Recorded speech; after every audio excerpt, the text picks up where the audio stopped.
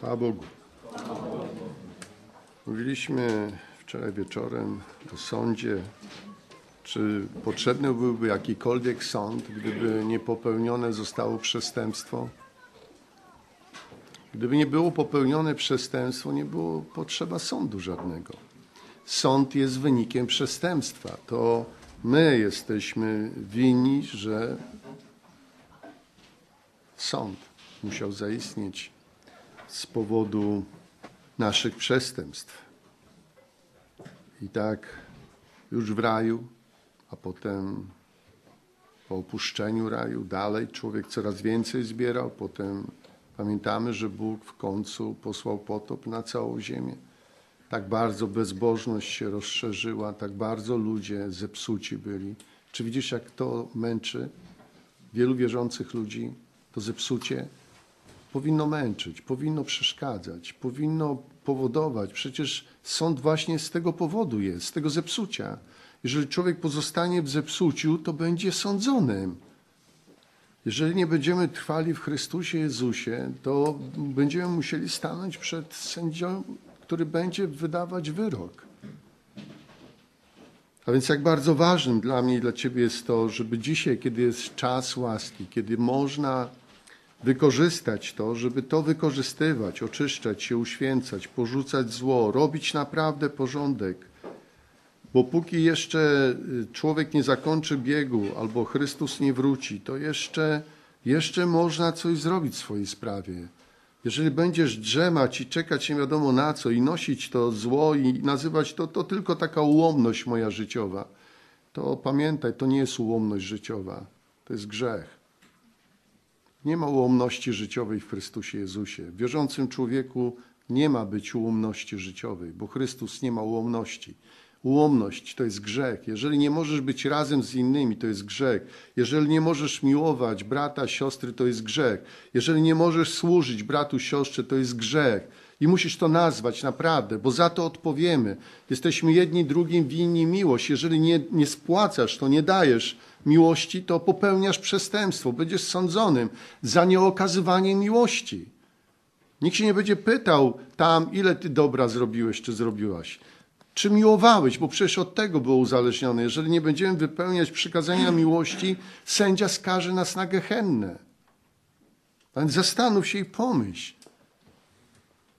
Przecież wiesz o tym, czytasz to w Biblii, że ci, którzy nie miłują, w ciemności chodzą.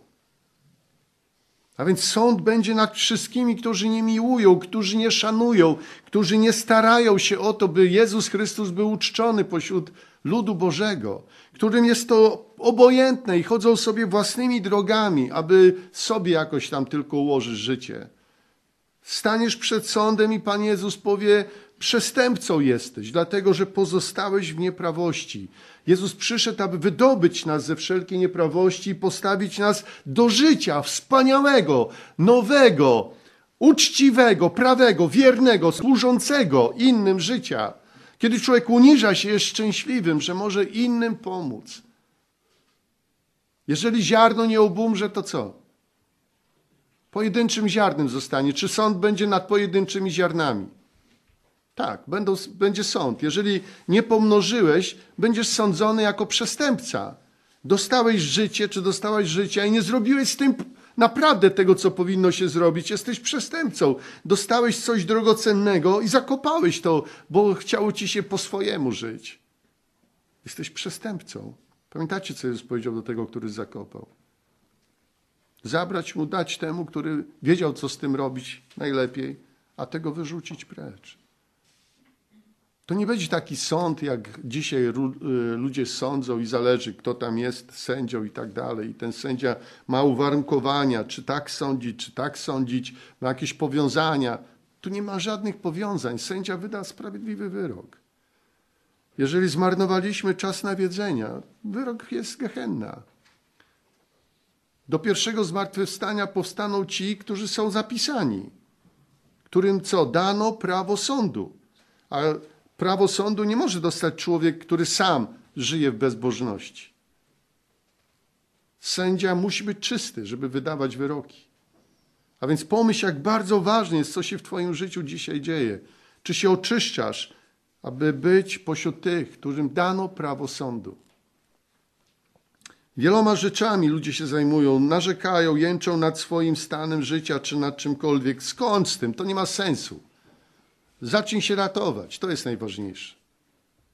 Wiesz, że krew Jezusa została przelana, wykorzystaj, oczyszczaj się, uświęcaj i działaj. On dał ci przestrzeń do życia. Ci, którzy słyszą, zachowują i czynią. Księga Ozeasza, dziesiąty rozdział. Zaszczytne zadanie wyznaczone nam zostało przez Ojca w Jego Synu. Pilnujmy tego zadania, bo po tym poznają inni, że do Niego należymy, gdy miłość wzajemną mieć będziemy. To jest najważniejsze. A miłość to wiesz chyba, co to jest. To nie to, że wszyscy koło Ciebie chodzą, tylko Ty chodzisz koło wszystkich. Oni robią dokładnie to samo. I wszyscy nawzajem okazujemy sobie miłość. I dziesiąty rozdział, trzynastym wierszu czytaliśmy Lecz wy oraliście bezbożność, żeliście niegodziwość, jedliście owoc kłamstwa, ponieważ polegałeś na swoich rydwanach i na mnóstwie swoich wojowników.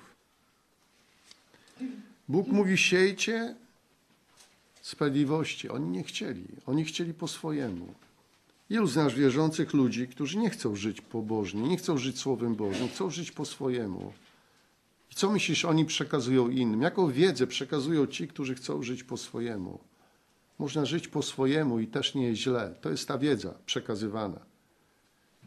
Ale przyjdzie sędzia i powie: Nie znam cię. To nie jest moja wiedza. Moją wiedzą było zupełnie co innego.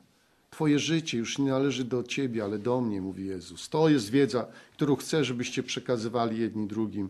Że Ty już nie jesteś swoim właścicielem ani panem swojego życia czy panią. Panem tego życia jest Chrystus. To jest wiedza, którą trzeba przekazywać. Już nie żyję dlatego, bo mi się tak chce, tylko żyję dlatego, bo Bóg dał mi życie w Jezusie Chrystusie, żeby je życie, a są obfite, pełne, tego życia brakuje.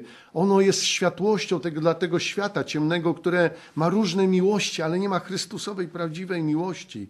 To życie, które jest pełne chwały, jest potrzebne pośród tego świata. Nie ludzi, którzy nie mają o sobie, że są jacyś pobożni, bo coś tam poczytają, czy pomodlą się, pośpiewają, ale ludzi, którzy naprawdę są zdobyci dla Chrystusa. Ich życie to już nie ich, to Chrystus w nich żyje.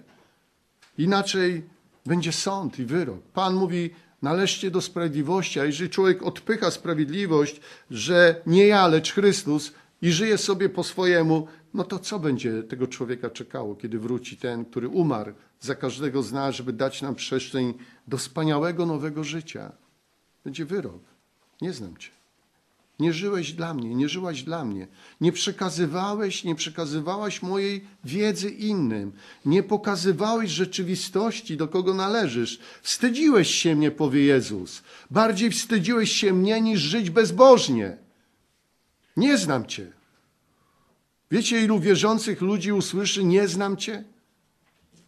Dlatego, że nie chcieli żyć słowami Jezusa.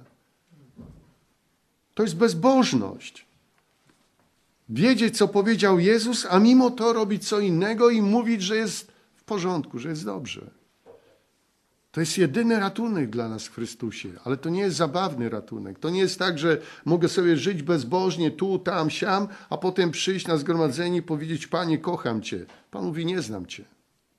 Najpierw uporządkuj swoje życie, zrób porządek z tymi kłamstwami, które towarzyszą Ci w codzienności, a potem przyjdź i nie kłam mi, że mnie kochasz, czy zależy Ci na mnie. Przyznaj się, że żyjesz bezbożnie i potrzebujesz naprawdę przebaczenia i pomocy, żeby już nie kłamać więcej nigdzie. Wiecie, że kłamcy nie wejdą do wieczności, wiecie? To są kłamcy. Kłamcy to kłamcy, a ojcem kłamstwa jest diabeł, a ojcem prawdy jest Bóg w niebie. A więc wszyscy, którzy kłamią, pójdą do Gehenny. Tak jest wyrok sądowy, zapisany w księdze. No więc po co kłamać? Jaki zysk mamy z kłamstwa? Jakąś chwilową ulgę, chwilowe zadowolenie, czy cokolwiek? Mówcie prawdę jedni drugim, bo jeżeli brat oszukuje brata, to mścicielem tego jest Bóg. Wiecie o tym, tak? Dlaczego więc ludzie żyją w kłamstwie? Okłamują. Więcej zyskasz, gdy będziesz żyć w prawdzie, bo nie będzie cię ścigał nikt. Nikt cię nie będzie ścigał za to, że coś zrobiłeś czy zrobiłaś przestępstwo jakieś. Jeżeli cały czas w prawdzie żyjesz, nie popełniasz żadnego przestępstwa. Jesteś wolnym, jesteś wolną w Chrystusie Jezusie. Kto popełnia przestępstwo, musiał kłamać, musiała kłamać. Tylko kłamcy popełniają przestępstwa. Prawdomówni nie popełniają przestępstwa. Jeżeli chcesz się władzy podobać, żyj w prawdzie.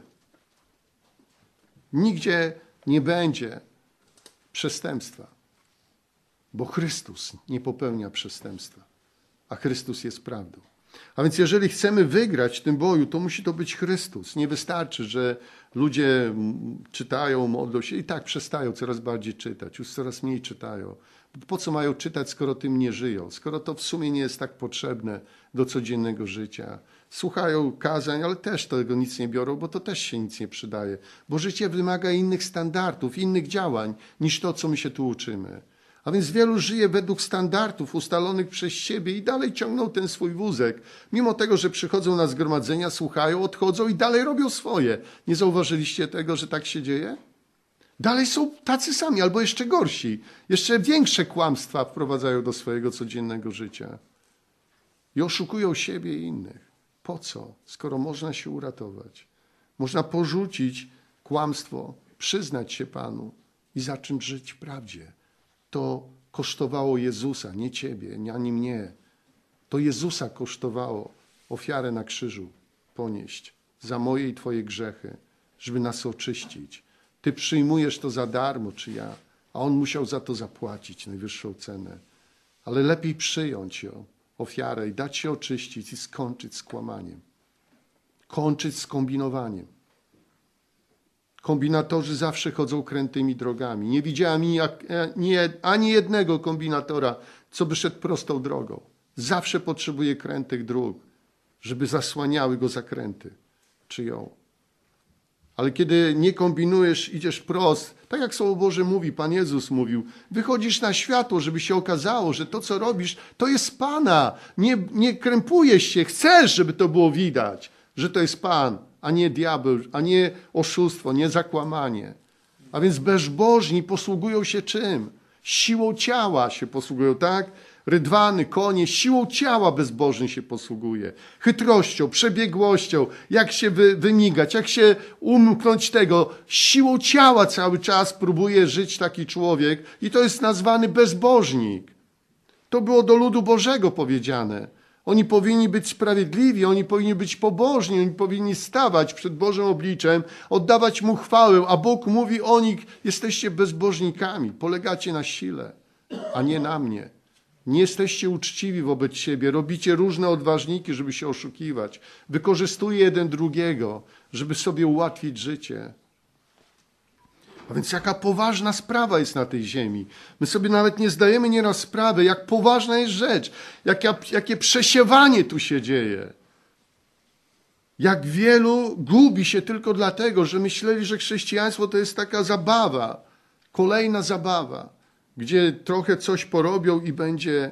Nie, diabeł ci nie pozwoli, żebyś nawet myślał, czy myślała, że to jest zabawa poturbuje cię nie raz i wrzuci cię gdzieś, gdzie będziesz musiał kłamać, żeby ratować swoją skórę, czy będziesz musiała kłamać. Bo tak jest diabeł. Chce bawić się ludźmi, którzy nie rozumieją, że zwycięstwo nad nim mamy tylko przez życie Jezusa, przez krew Jezusa. A więc bezbożny zawsze musi działać siłą ciała. Nie, nie zobaczysz bezbożnego, który nie wykorzystuje ciała. Nie zobaczysz ale też nie zobaczy sprawiedliwego, który wykorzystuje ciało. On się nigdzie nie pcha, nigdzie się nie wpycha i nie próbuje mataczyć. Jest sprawiedliwy. Tak jak mówiliśmy o Jobie, mąż sprawiedliwy. Nie musiał mataczyć, mógł mówić prawdę i bronić tego, być pewnym tego, że przecież czyniłem to Boże, co chciałeś. A więc wygrajmy, przecież to jest wieczność przed nami. Ja wiem, że ta chwila wydaje się taka ważna, ale ta chwila przejdzie, a wieczność co? Jeżeli stracisz to, y, tą wieczność z powodu bezbożności, grzechu, przestępstwa, to stracisz największy skarb. Zyskasz tu trochę jakiejś głupiej rzeczy, która zginie. A tam stracisz całą wieczność, chwałę, życia wieczności z Bogiem.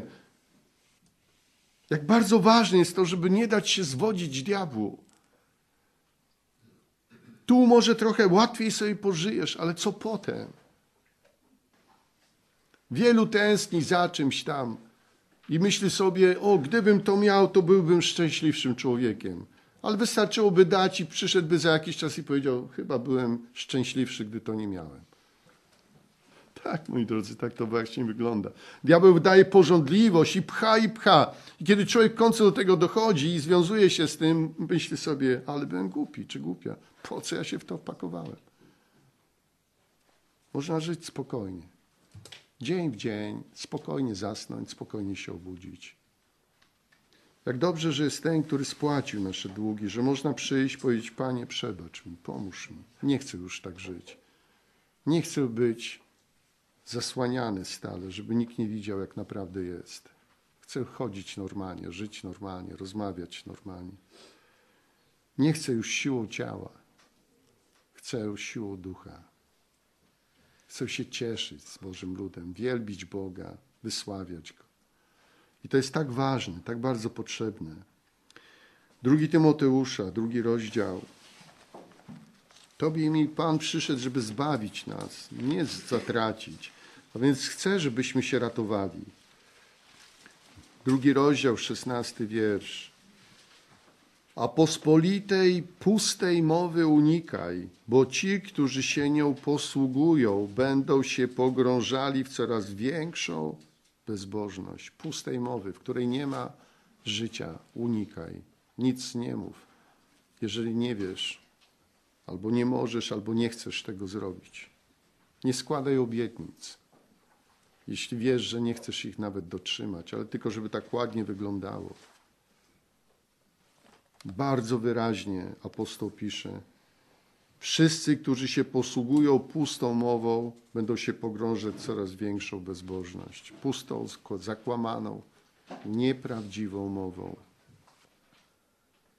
A tego jest coraz więcej. Dużo pustych słów pada, których, które nie mają pokrycia w rzeczywistości. I dlatego ostrzeżenie jest, abyśmy tego nie robili. Gdy rozmawiamy, to rozmawiajmy prawdziwie. Księga Zachariasza, piąty rozdział. Piąty rozdział od pierwszego wiersza.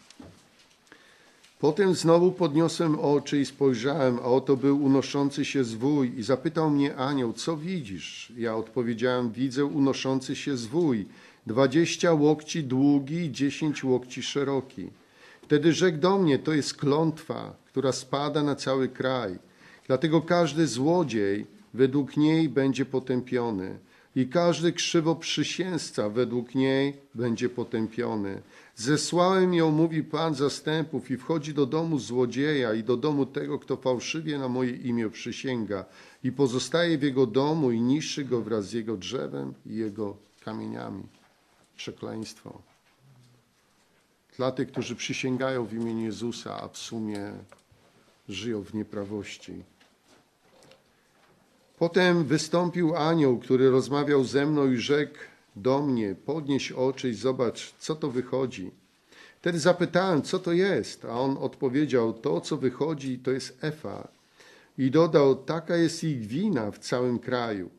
A wtem podniosła się ołowiana pokrywa i zobaczyłem kobietę siedzącą w Efie. I rzekł: To jest bezbożność. I zepchnął ją do wnętrza Efy i rzucił na jej wierzch ołowianą pokrywę. Znowu podniosłem oczy i spojrzałem, a oto wyszły dwie kobiety, których skrzydła poruszał wiatr, a miały skrzydła jak skrzydła bocianie, i one podniosły Efę między niebo a ziemię. Wtedy zapytałem anioła, który rozmawiał ze mną, dokąd one zaniosą Efę. I odpowiedział mi, będzie dla niej wzniesiona świątynia w ziemi Sinear, a gdy będzie gotowa, postawił ją tam na cokole. Świątynia dla bezbożności, przygotowana w ziemi Babilonu. Babilon, matka wszystkich wszetecznic. Bezbożność, która staje na cokole i zaczyna być czczona, hołubiona, ma swoją świątynię. Wiecie, ilu bezbożnych ludzi czci bezbożność? Bezbożności upatrują swoje rozwiązania, bezbożności upatrują swoje zadowolenia. A to, co widzimy, to, co się dzieje, widzimy, jak coraz więcej ludzi żyje w bezbożności. Bardzo szybko to się dzieje, bardzo szybko to się dzieje. Różne y, wydarzenia to nam pokazują. Jeżeli byśmy wzięli świat, widzimy, co się dzieje w świecie. Tak, kłamcy, kłamcy, kłamcy próbują powiedzieć innym, że chcą czynić dla nich dobro, wiedząc, że ich okłamują. Kłamią oficjalnie, kłamią bez żenady, kłamią wprost. Kiedyś było jeszcze jakieś poczucie wartości, teraz to wszystko ginie. Bezbożność staje na cokole. Co się dzieje między wierzącymi ludźmi? Bardzo krótki czas, jaka deprawacja, jakie opuszczenie szacunku dla ofiary Jezusa Chrystusa, jakie życie w coraz większej bezbożności. Związki cudzołożne zaczynają przekraczać nawet liczbę w tych, które są w świecie. Ludzie siedzą w jednym zborze, byli wcześniej z kimś innym, teraz są z kimś innym. Nikt się już tym w tych zborach nie przyjmuje. Żyjemy w tych czasach. I albo będziemy się ratować w Chrystusie, albo człowiek pójdzie za bezbożnością. Albo będzie się ratować i wygrasz, weźmiesz, skończy ze swoim ja, weźmiesz krzyż na swoje przestępstwa, na swoje egoistyczne, samowolne, bezbożne życie, skończy z tym i oddasz siebie Panu do pełnej dyspozycji, a On będzie wiedział, co z Tobą zrobić. W każdym miejscu, gdziekolwiek jesteś. Wtedy wygrasz. Bo tylko życie Jezusa może wygrać. Ludzie opuszczają się. Słowo Boże mówi bardzo wyraźnie: wielu miłość zletnieje. Będą opuszczać wierzących, staną się ich wrogami. Pójdą w stronę bezbożności, będą czuli się, że oni mają rację, będą używać siły, będą wydawać. To nie są łatwe czasy, a wielu wierzących ludzi zachowuje się, jakby zupełnie nie rozumiało tego, co jest napisane w Biblii. Jeżeli dzisiaj nie będziesz czynić dobra Chrystusowego, kiedy to będziesz czynić? Słowo Boże mówi, że jeśli nie miłujesz prawdy, to Bóg wyda tych, którzy nie miłują prawdę na obłęd i uwierzą kłamstwu. Sami się chcieli okłamywać, nie chcieli żyć w prawdzie. Bóg wyda, niech idą w kłamstwo. Niech idą za diabłem. A więc ratuj się dzisiaj, ile tylko możesz, ile potrafisz. Angażuj się w to ciało Chrystusowe, żeby budować się na Boży dom. Oczyszczaj się, porzucaj wszelkie zło. Nie siedź, jakbyś miał tylko być cząstką czegoś, co nie jest żywe, co jest po prostu skamieniałe lub cokolwiek. Cokolwiek możesz zrobić dobrego, jakiekolwiek dobre słowo z Biblii przyniesione w mocy Bożego Ducha, mamy się tym nawzajem umacniać, posilać. To jest nasze, nasza odpowiedzialność, nasz obowiązek. To jest rozkaz tego, który przyszedł pokonać diabła. To jest rozkaz Jezusa Chrystusa, który przyszedł wygrać o ciebie i o mnie bitwę na krzyżu. On nie prosi cię, on ci rozkazuje. Jeżeli nie oddasz mu swojej duszy, stracisz wieczność. Jeżeli oddasz, powiedział, zyskasz wieczność. Ilu ludzi nie oddało jeszcze życia Jezusowi do dzisiaj?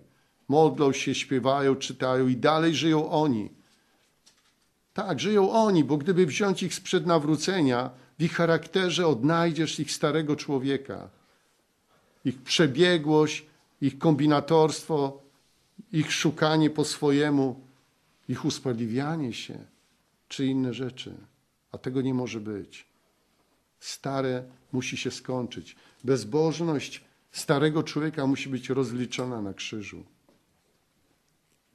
Później Wyspanie staje się ważniejsze niż to, żeby się ratować, bo człowiek musi się wyspać. Bo przecież jak będzie zmęczony człowiek, to jak będzie żył tutaj, oczy go będą piekły. Ale że, że porzuca sprawy Boże, to już nie ma takiego znaczenia.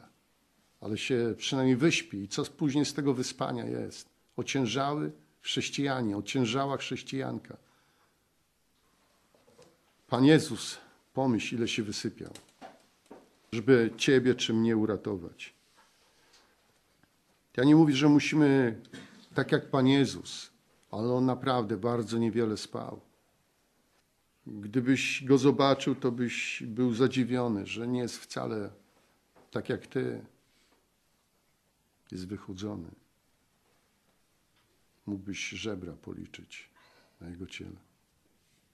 Mało jadł, wiele pościł. Mało spał. I wygrał. I nie powiedział, wy teraz nie macie prawa spać, nie macie prawa jeść, ale powiedział, ale nie zmarnujcie tego, co ja zrobiłem dla was. Bo tylko Jego było stać na takie, na takie działanie, na taki sposób działania. Tylko Jego było stać, bo Jego determinacja o mnie czy o Ciebie była tak silna, bo On wiedział, o co walczy. My też musimy wiedzieć, a więc mamy możliwość się ratować. To wszystko stacza się, a my nie chcemy się staczać wraz z tym wszystkim. Nie chcemy się tylko cieszyć, że ktoś w ogóle tu jest. Chcemy cieszyć się z tego, że się ratujesz, że wygrywasz, że szukasz tu, jak tu nawzajem, budować się dla Pana. Co dobrego można zrobić pośród wierzących ludzi? Panie Jezu, jestem gotowy, jestem gotowa. Nie tyle myśleć o sobie, o sobie, tylko myśleć, Panie, Ty przecież mnie wszczepiłeś, jestem cząstką Twego ciała a cząstki muszą mieć o siebie jednakie staranie. Panie Jezu, co mam robić, Panie? Kochaj, przebaczaj, przynieś to, co pożyteczne, co zbuduje. Wspomóż, kiedy trzeba. Niech Twoje życie nie kręci się koło Ciebie, ale zacznie prawdziwie patrzeć na to, że Jezus jest głową ciała Kościoła. Przeklęty każdy, moi drodzy, którzy który nie miłuje Jezusa Chrystusa, tak powiedział apostoł Paweł. I tu jest w Zachariaszu napisane, przekleństwo przychodzi do domów tych, którzy mienią się chrześcijanami, a nie miłują Jezusa Chrystusa. Przekleństwo. Brakuje tam życia. Są ludzie, tak, są ludzie, ale brakuje życia. Masz imię, że żyjesz, a jesteś umarły, mówi Pan Jezus. A więc ratuj się, póki jest jeszcze czas. Póki jest jeszcze czas. A więc powstaje tam, w tym miejscu, gdzie ludzie kiedyś budowali budynek, który chcieli, aby dotrzeć do nieba. Świątynia, a w niej bezbożność, czczona na całej ziemi. Na całej ziemi czczona bezbożność, gdzie ludzie mówią, to trzeba umieć kłamać, trzeba umieć zwodzić, żeby innych oszukać. Ewangelia Mateusza, 24 rozdział. A my musimy się przed tym bronić. My chcemy Chrystusa, a On przez pobożność, żyjąc przed Bożym obliczem, doszedł do doskonałości w posłuszeństwie. Dziewiąty wiersz. Wtedy wydawać was będą na udrękę i zabijać was będą i wszystkie narody pałać będą nienawiścią do was dla imienia mego. Oto bezbożność stoi na cokole, jest świątyni i wszystkie narody czczą bezbożność. Jedyni pobożni na ziemi zostali tylko ci, którzy należą do Jezusa Chrystusa. Bezbożność chce wybić wszystkich. Chce zniszczyć wszelką pobożność na ziemi. Czy nie doznajesz, jak atakuje Ciebie i chce zniszczyć Ciebie i Twoją pobożność Chrystusową? I chcecie wprowadzać bezbożność, życie bezbożności, żeby to traktować jako normalne? Wygraj, bo to jest właśnie przedsmak tego, co się już zbliża na całej ziemi.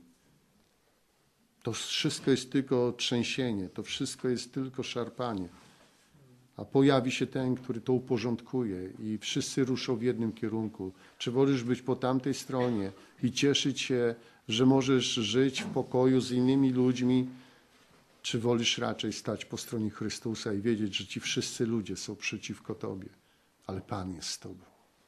Co wolisz? Jeżeli dzisiaj nie będziesz śmiało stawać w Chrystusie, jak staniesz śmiało później? Jeżeli dzisiaj boisz się żyć nauką Jezusa, to kiedy się będziesz nią uczył żyć, czy uczyła żyć?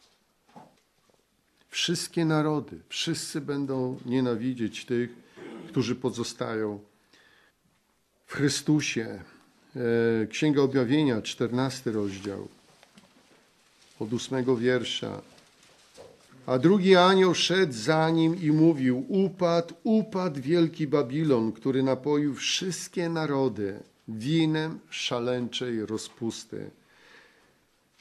Który napoił wszystkie narody winem szaleńczej rozpusty. A trzeci anioł szedł za nimi, mówiąc donośnym głosem: Jeżeli ktoś odda pokłon zwierzęciu jego posągowi i przyjmie znamię na swoje czoło lub na swoją rękę, to i on pić będzie samo czyste wino gniewu Bożego, z kielicha jego gniewu i będzie męczony w ogniu i w siarce wobec świętych aniołów i wobec baranka.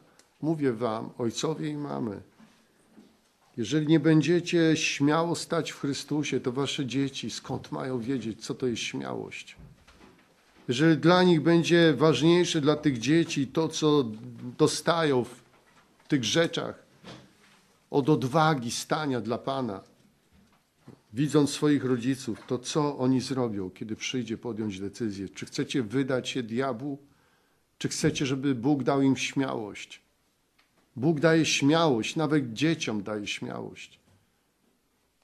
I są świadectwa, gdzie pytano się rodziców i rodzice podjęli decyzję, że nie odwrócą się od Chrystusa. Pytano się dzieci i dzieci też powiedziały, że się nie odwrócą i cała rodzina została zabita. Dzieci powiedziały też, że się nie odwrócą. Kto im dał tą odwagę? Bóg.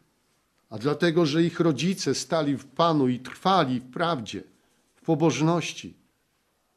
Pamiętaj, że Ty albo strzeżesz swego domu z pomocą Pana, albo wpuszczasz diabła tam poprzez uleganie różnym rzeczom światowym. Co zrobił? Winem szaleńczej rozpusty. Do dzisiaj pewno to chodzi to, co chyba Wilkerson mówił. O tym, jak było zgromadzenie pastorów. Wynajęty był cały hotel i przyjechali. Potem komuś padło do głowy, żeby dla próby sprawdzić, co ci pastorzy oglądali, myśląc oczywiście o jakichś pobożnych rzeczach. I raptem się okazało, że chyba 80% z nich oglądało pornografię w tym czasie kiedy się spotkali. Winem szaleńczej rozpusty, a potem szli i mówili ludziom, co mogli im przekazać, skoro ich umysły były zepsute, zaciemnione. To było już ileś lat temu, co teraz jest. Cały czas trąbią ludzie, ci, którzy głoszą i chcą coś przekazać, i trąbią o tym cały czas. Musi to być nagminne już pożądliwość, pycha życia, bezbożność ma już świątynię. To nie jest widzialna świątynia, to jest duchowa świątynia. I stamtąd to wszystko rozlewa się na te wszystkie narody. Tak to się dzieje. Księga Izajasza, 59 rozdział. Może jeszcze, nim do Izajasza, może jeszcze wrócimy do objawienia 18 rozdziału. Od pierwszego wiersza. Potem widziałam innego anioła stępującego z nieba, który miał wielkie pełnomocnictwo i rozjaśniła się ziemia od jego blasku. I zawołał donośnym głosem: Upadł, upadł wielki Babilon i stał się siedliskiem demonów i schronieniem wszelkiego ducha nieczystego i schronieniem wszelkiego ptactwa nieczystego i wstrętnego, gdyż wszystkie narody piły wino szaleńczej rozpusty jego i królowie ziemi uprawiali z nim wszeteczeństwo, a kupcy ziemi wzbogacili się na wielkim jego przepychu. I usłyszałem inny głos z nieba mówiący, wyjdźcie z niego, ludu mój, abyście nie byli uczestnikami Jego grzechów i, i aby was nie dotknęły plagi na Niego spadające, gdyż aż do nieba dosięgły grzechy Jego i wspomniał Bóg na Jego nieprawości. To, co Babilon chciał postawić Budynek, który sięgnie nieba, oto widzisz, co to za budynek. Dlaczego Bóg pomieszał im języki? To ich grzechy. Coraz większa grzeszność, coraz wyższe, aż dosięgło nieba. Ile wyborów, ile decyzji, a jak bardzo ważne jest to, żeby pamiętać, nie chcę być współdziałowcem Babilonu, nie chcę służyć Babilonowi, nie chcę żyć w bezprawiu, chcę żyć w prawości, chcę żyć w Chrystusie. Wolę być poza Babilonem i znosić cierpienia, wojny, przeciwności, niż pozostać w Babilonie i mieć spokój. Kto wytrwa do końca, pamiętaj, nie bądź w Babilonie, nie korzystaj z możliwości Babilonu, nie korzystaj z bezbożności. Pokutuj, jeżeli coś było złego, oczyszczaj się, korzystaj z krwi Jezusa Chrystusa. Lepiej zrobisz, więcej zyskasz, bo dzisiaj nie będziesz już niebezpiecznym czy niebezpieczną dla innych, otwierając swoje usta i mówiąc słowa, których lepiej, żeby wierzący ludzie nigdy nie wypowiadali a wręcz odwrotnie, będziesz mówić to, co jest cenne, wieczne, co prawdziwe. I teraz sięgnijmy do tego Izajasza, 59 rozdział. Od tego zależy, gdzie będziemy, moi drodzy. Ważne jest, abyśmy wygrali dzisiaj. Ociągasz się, ociągasz się, jesteś w tym zborze ileś czasu, ociągasz się z tym, żeby poddać się tej nauce. Dlaczego tak walczysz z tą prawdą, która tu jest zgłoszona i od kiedy się nawróciłeś, czy nawróciłaś, słyszysz ją. Dlaczego tak się zmagasz z tą prawdą? Skoro wiesz, że to jest prawda i ona może cię zbawić. 59 rozdział od pierwszego wiersza. Oto ręka Pana nie jest tak krótka, aby nie mogła pomóc, a jego ucho nie jest tak przytępione, aby nie słyszeć. Lecz wasze winy są tym, co was odłączyło od waszego Boga. Wasze grzechy zasłoniły przed wami, jego oblicze także nie słyszy. Wiecie, w zgromadzeniu wierzących ludzi najczęściej ludzie mają do siebie różne żale i pretensje. To jest nagminne pośród wierzących ludzi. Ale nie mają pretensji do siebie, że chodzą z pretensjami do innych. A powinni chodzić z miłością. Łatwo jest mieć pretensje do innych. Może zacznij od siebie. I miej tak prawdziwie pretensje do siebie, że tak mało Chrystusa dajesz innym, a tak bardzo ciągniesz w swoim kierunku. Im więcej nas będzie poza Babilonem, tym większa szansa dla kolejnych, dla kolejnych. Im więcej będzie żyło w prawości Chrystusowej, tym bardziej będzie można pociągać innych, ratować innych. To jest bardzo ważne.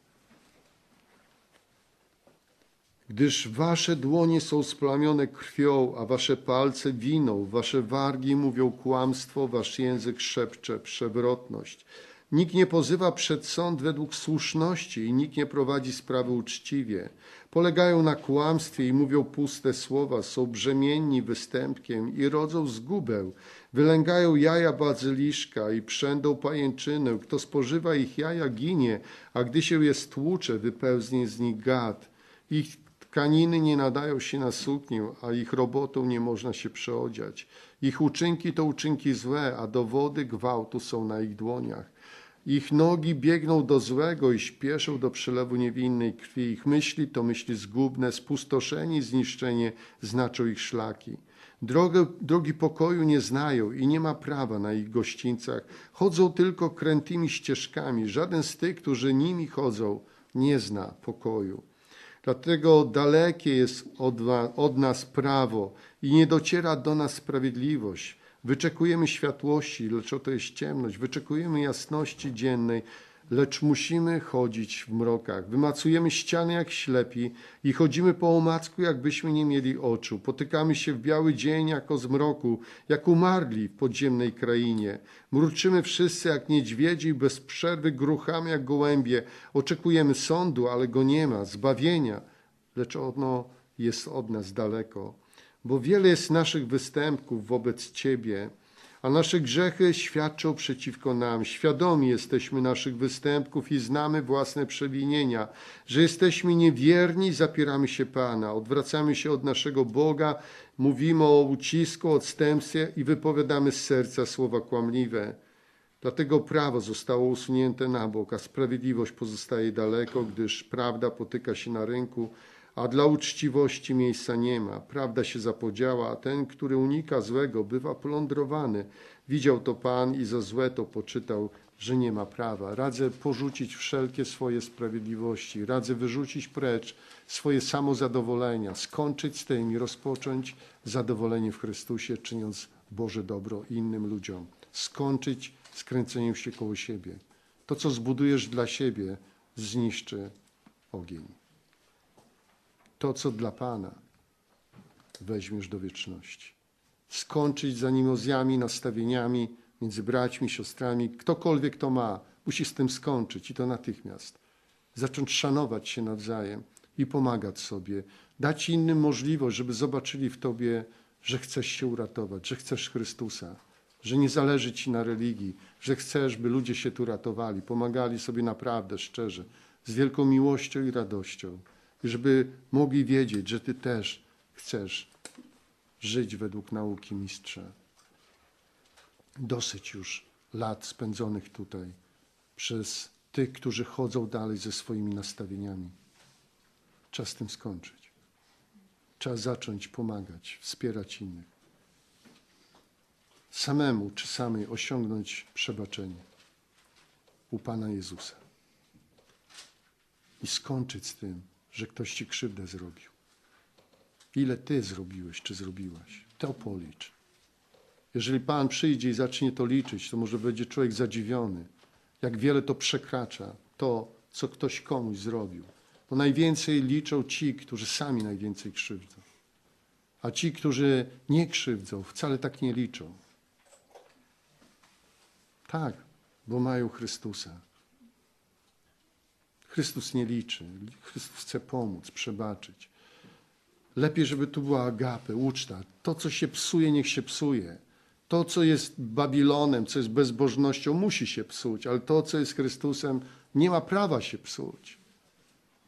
To jest zdrowie, to jest zwycięstwo, to jest społeczność z Bogiem. Księga Jeremiasza, piąty rozdział. Najlepsze, co można zrobić, paść na kolana, powiedzieć, Panie, przebacz mi wszystko, co zrobiłem, co zrobiłam innym złego. Kończę z tym, rozpoczynam pokutę poprzez oczyszczenie, poprzez rozpoczęcie czynienia dobra, bez spodziewania się zwrotu. Jeżeli Pan zobaczy to złamanie, to wtedy powie dobrze. Jeżeli będzie tylko słyszeć puste słowa, które mówią: Ja kocham braci, kocham siostry, i nie będzie widzieć tego, to Pana nie oszukasz. Jeszcze większą bezbożność padniesz. I tu w piątym rozdziale od 21 wiersza. Słuchajże tego ludu głupi i nierozumny, wy, którzy macie oczy, a nie widzicie, macie uszy, a nie słyszycie.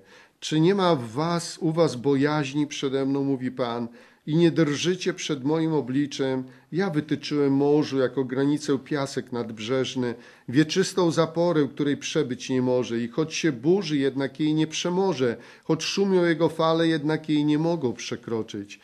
Lecz ten lud ma serce krnobrne i przekorne, odstąpili i odeszli. I nie pomyśleli w swoim sercu, bójmy się Pana naszego Boga, który daje nam w czasie właściwym zarówno deszcz wczesny, jak i późny, który nam zapewnia ustalone tygodnie żniwa. Wasze winy obaliły ten porządek, a wasze grzechy pozbawiły was dobrego. Ja myślę, że wielu ludzi mogłoby powiedzieć tutaj, jak ode mnie dostali odpłatę za krzywdę, którą zrobili komukolwiek w zgromadzeniu. Jaką odpłatę otrzymałeś czy otrzymałaś ode mnie za tą krzywdę wykonaną? Czy to ci nie mówi, że jest zbawienie, jest uratowanie? Ile przebaczenia doświadczyłeś, czy doświadczyłaś? Ile możliwości dostałeś, czy dostałaś, aby móc tutaj służyć, chociaż wiedziałem, co nosisz w sercu? Żebyś mógł zrozumieć, czy zrozumiała, że tu jest miejsce łaski, a nie miejsce pychy i bezbożności. Że nie ma tu cokołu dla diabła, jest Chrystus uwielbiony. I czas się nauczyć tego. Nieraz słyszałem, że trzeba z kimś zrobić porządek, a dostawał czas na to, by samemu czy samej to zrobić, żeby to uporządkować. To nie jest miejsce, w którym się ma zginąć, ale można zginąć, nawet w najlepszym miejscu. To jest miejsce, gdzie trzeba skończyć z tym. Policzyć swoje krzywdy uczynione innym i zacząć to porządkować, usuwać przeszkody samemu czy samej rzucone między sobą a braćmi i siostrami. Usuwać to, aż będzie czysto. I umyjesz nogi, tak jak Pan Jezus, chociaż On jest doskonale czysty. I chodzi o to, żeby to zrozumieć. I całe szczęście. Myślę, że na ziemi jest ileś miejsc, którym ludziom nie zależy na tym, żeby ludziom sprawiać przyjemność, że odbyli akt religijny i poszli do domu, ale żeby ludzie się ratowali i rozumieli. To nie jest zabawa, to jest prawdziwa bitwa o Twoje wieczne życie. Musisz zobaczyć i oglądać i patrzeć, co się dzieje. Tak jak mówiliśmy o Jobie, przyjaciele Joba ocenili go, Job, zgrzeszyłeś, Bóg cię każe teraz, a widzieli jego życie. A więc patrz na życie, a nie na pomysły. Gdyż w moim ludzie są bezbożni, którzy rozstawiają sieci, jak ptasznicy zostawiają zgubne sidła, aby łapać ludzi. Jak klatka pełna jest ptaków, takich domy pełne są zrabowanego mienia. Dlatego stali się możni i bogaci, są otyli, opaśli, przekroczyli nawet miarę złego. Nie dbają o prawo, o sprawę sieroty, aby się jej dobrze wiodło, nie bronią prawa ubogich. Czy za to nie mam was karać, mówi Pan? Czy na takim narodzie nie mam się mścić? Rzeczy okropne i ohydne dzieją się w tym kraju. Prorocy prorokują fałszywie, a kapłani nauczają według własnego widzimisię. Mój lud zaś Mój zaś lud kocha się w tym, lecz co poczniecie, gdy to się skończy? A więc jak dobrze jeszcze, że jest czas, możliwość, żeby zacząć robić porządek, żeby coś pięknego zacząć robić, coś Chrystusowego, coś, co ma blask chwały nieprzymijającej, coś, co niesie w sobie miłość Chrystusowa, pokój Chrystusowy, służba Chrystusowa, piękne podniesienie, gdzie ludzie są sobie są sobie tak bliscy, jak bliski jest ojciec z synem. I są tak sobie nawzajem pomocni, chętni, aby służyć, aby czynić to, co dobre i pożyteczne. Nie sięgasz w grzech, bo nie chcesz wnosić do tego zboru zła. Nie chodzisz drogami bezbożnych, bo nie chcesz nikomu tu przynieść krzywdy. Czcisz Pana w każdym miejscu i szanujesz Go. Czy tu jesteś, czy tu jesteś, wszędzie pilnujesz tej czystości żeby gdy przyjdzie zgromadzić się z braćmi i siostrami, by z nimi być razem w jedności przed Bożym obliczem. Dbaj o to, lepiej zrobisz. Dbaj o to z całego serca.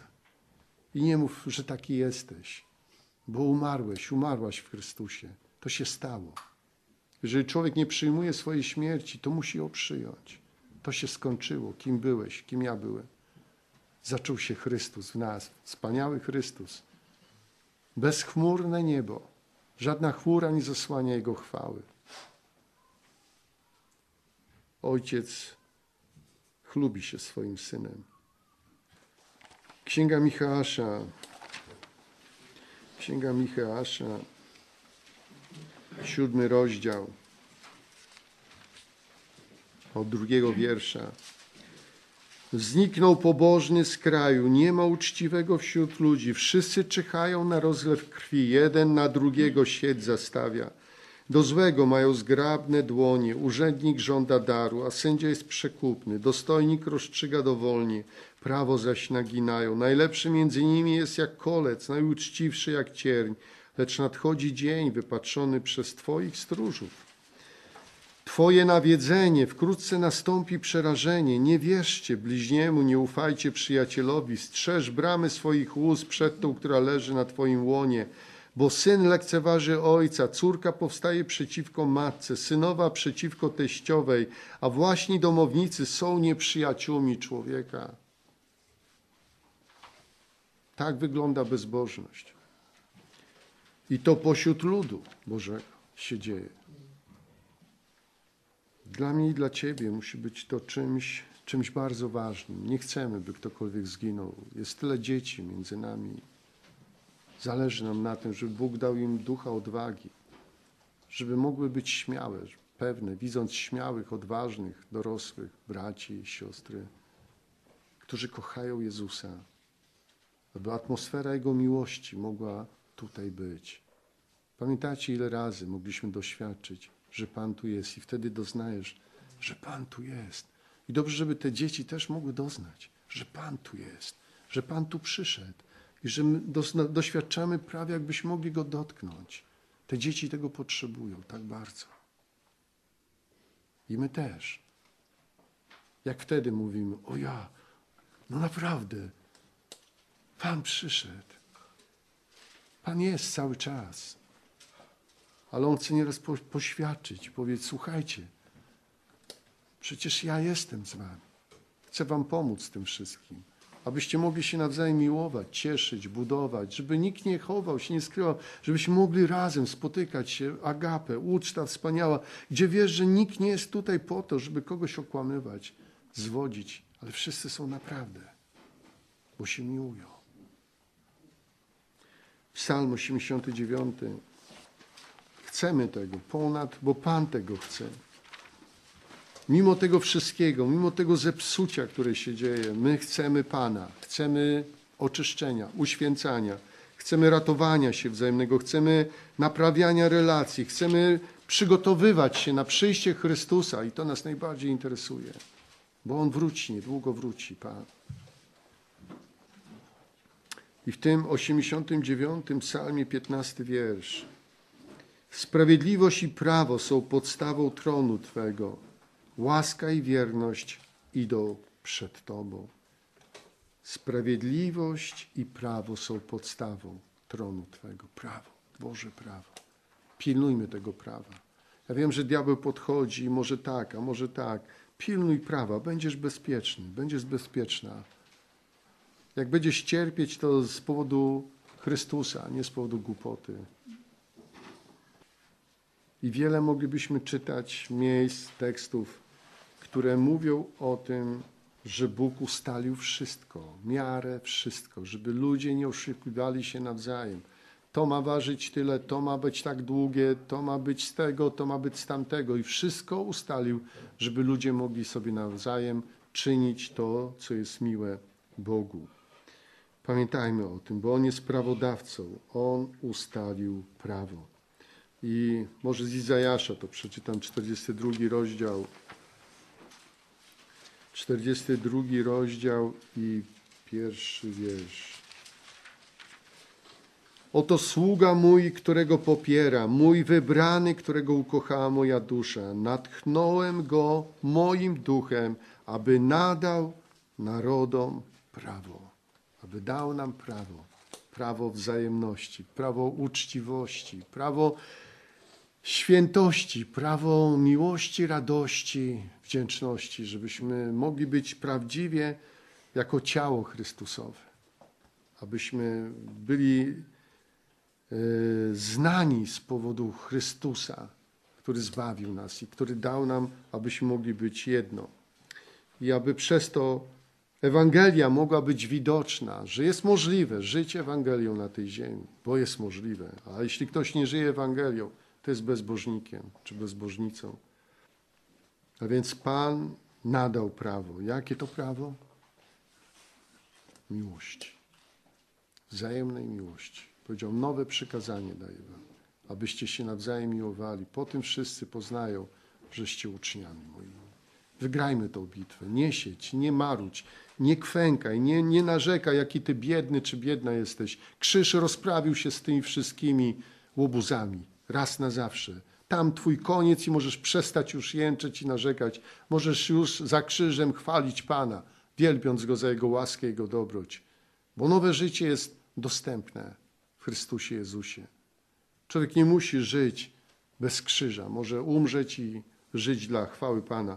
Myślisz sobie, że coś ci jest potrzebne, powiem ci, oddaj to Panu. Zobaczysz, czy Pan uważa to samo. Jeżeli tak, to ci da. Jeśli nie, to nie da i tyle. I problem z głowy. Nie masz nigdzie problemu. Oddaj to Panu. Tak czy nie? Czy kocha cię? Kocha cię. Jeżeli będzie widzieć, że to ci się przyda, to ci to da. Jeżeli uzna, że to ci zaszkodzi, to nie da. Bo tak samo rodzice czynią. I temat się zamyka, jest spokój, całkowicie spokój. Księga Jeremiasza, dziewiąty rozdział, 22, 23 wiersz. Tak mówi Pan, niech się nie chlubi mędrzec swoją mądrością, niech się nie chlubi mocarz swoją mocą, niech się nie chlubi bogat swoim bogactwem. Lecz kto chce się chlubić, niech się chlubi tym, że jest rozumny i wie o mnie, iż ja Pan czynię miłosierdzie, prawo i sprawiedliwość na ziemi, gdyż w nich mam upodobanie, mówi Pan. Prawo, sprawiedliwość, bezbożność, nieprawość, a tu prawo i sprawiedliwość. Czyń to każdego dnia. Tak Jezus mówi. Jeżeli wiesz, to czyń to, co wiesz. Czyń to i nie patrz się na to, ile z tego ktoś ci się uśmiechnie albo co. Idź i czyń to, co mówi Pan. To jest najważniejsze. Posłuszeństwo jest cenniejsze. Jak człowiek będzie patrzył na innych, to za chwilę powie, a co to z tego ja mam? Ani się do mnie za to nie uśmiechają, ani ten, jeszcze mi ktoś tam przyłożył. No a co, cóż się dziwisz? Pan Jezus przyszedł uczynić dobro i co zrobiono? Ukrzyżowano. Pluto na niego. A ty się dziwisz, że gdy wychodzisz z dobrem, to może cię spotkać to samo? A więc wszyscy, którzy czynią bezprawie, Jezus mówi, nie znam was, skończ. Jeżeli czynisz bezprawie, skończ z tym, jakkolwiek. Cokolwiek jest tego motorem, przyczyną, jakiekolwiek myśli powodują to, że czujesz się, że musisz żyć w ten sposób bezbożny, zostaw to, porzuć to. Jeszcze jest czas, żeby usunąć to i zacząć żyć pobożnie, żeby czynić to, co jest dobre, miłe i pożyteczne, żeby Bóg miał w tym upodobanie. Jest to możliwe dzięki Jezusowi Chrystusowi. Yy, pamiętam, jak apostoł Paweł pisał w 2 Koryntian, w tym szóstym rozdziale, nie przyzwyczajaj się do swego starego człowieka, powinieneś go nienawidzieć, tak mówi Słowo Boże. Ja powinienem nienawidzieć swojego starego człowieka i ty. Powinniśmy miłować Chrystusa. I to powinno być naszą największą radością. Miłuję Pana, dla Niego żyję, dla Niego umieram. Pański jestem i tyle, i wszystko. I wtedy wygrasz, będziesz zwycięzcą, będziesz wzrastać normalnie i inni ludzie będą naprawdę mogli z Ciebie korzystać. I tutaj od 14 wiersza. Nie chodźcie w obcym jarzmie z niewiernymi, bo co ma wspólnego sprawiedliwość z nieprawością? Albo jaka społeczność między światłością a ciemnością? Albo jaka zgoda między Chrystusem a Belialem? Albo co za dział ma wierzący z niewierzącym? Jakiż układ między świątynią Bożą a bałwanami? Myśmy bowiem świątynią Boga żywego, jak powiedział Bóg. Zamieszkam w nich i będę się przechadzał pośród nich i będę Bogiem ich, a oni będą ludem moim. Dlatego wyjdźcie spośród nich i odłączcie się, mówi Pan. I nieczystego się nie dotykajcie, a ja przyjmę was. I będę wam ojcem, a wy będziecie mi synami i córkami, mówi Pan Wszechmogący. Mając wtedy te obietnice, umiłowanie, oczyśćmy się od wszelkiej zmazy ciała i ducha, dopełniając świątobliwości swojej bojaźni Bożej. Zachęcajmy się do poddawania się Panu Jezusowi Chrystusowi. Z jakiegokolwiek miejsca grzechu byś wychodził czy wychodziła, Pan daje Ci przestrzeń ratowania się. Wykorzystaj czas. Ratuj się. Porzucaj zło. Przyjmuj dobro. Ucz się życia Chrystusowego pośród innych, którzy tego samego uczą się, aby żyjąc, żyć dzięki Chrystusowi, a nie dzięki sobie samemu. Nie chodźmy więc w obcym jarzmie. Kto brudny, niech się brudzi dalej. Kto czysty, niech się oczyszcza. Wygrajmy w tej bitwie jeszcze trochę i wróci Pan. Piotr pięknie napisał, że umie Pan wyrwać pobożnych z pokuszenia, bezbożnych zachować na sąd. Umie Pan wyrwać. Jeżeli poddasz Mu się, On Cię nie zostawi. On chce ratować, chce zbawiać, ale jeśli będziesz Go lekceważyć, i dalej czynić zło zamiast dobra, to nie dziw się, że będzie Twoje serce twardniało i będzie coraz dalej Ci po drodze z tymi, którzy Pana miłują. To jest konsekwencja. To, co się psuje, to idzie do zniszczenia. To, co się buduje w Panu, to, co należy do wieczności, idzie do wieczności. Niech Bóg będzie z Tobą i ze mną. Pan nie zależy na śmierci nikogo z nas. Wybierz, co lepiej. Czy żyć tak, żeby Jezus przyszedł i powiedział, sługo wierny i dobry, wejdź do radości Pana swego. Czy żyć w taki sposób, żeby Jezus powiedział, nigdy Cię nie znałem, bo czyniłeś bezprawie. Przeanalizuj to i wybierz życie. Amen. Amen.